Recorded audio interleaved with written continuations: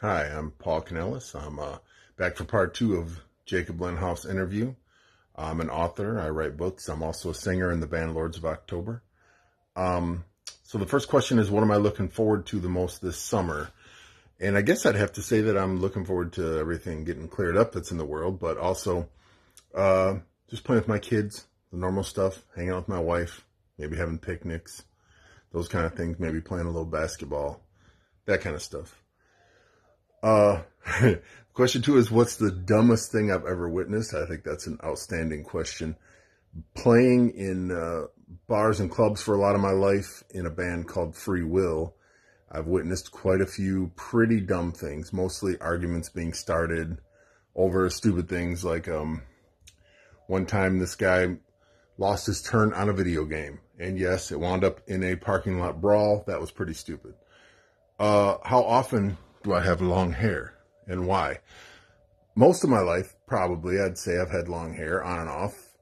Um, why? I like it. I like the way it looks. Um, I like having it in a band so I can, you know, move around. Also, it's easy to kind of hide behind.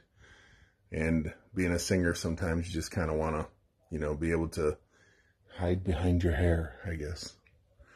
Uh, what the next question was, what's something in life I haven't accomplished that I would like to? I'd really love to sell a screenplay for a movie. Uh, I would like to make some more movies. There's a ton of things I want to accomplish that I haven't, but um, one of the biggest ones is I would I would really love to sell a screenplay and, and see a movie get made from the screenplay. I think that would be really awesome. Uh, the next question is, what if I could meet one movie star? Who would that be? Uh, at first I was thinking somebody like Bruce Campbell, but I don't know if he counts as a movie star. If he does, Bruce Campbell. But then I started thinking Brad Pitt would be a pretty interesting guy to talk to. I really enjoyed his roles in the Quentin Tarantino movies, and uh, I would like to pick his brain about acting and see what he has to say about Quentin and the industry and all that stuff. That would be pretty fun. And mm, the last question is, what's my favorite? Who is my favorite movie hero? And that would be I think he counts as a hero. It's he's definitely a protagonist. On the waterfront, Terry Malloy, played by Marlon Brando.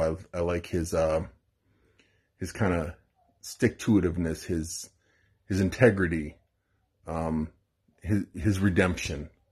The fact that he he goes after it even though he uh he probably shouldn't in in a physical sense. So yeah, I'd like to thank Jacob a lot. That was a lot of fun. And uh Thanks.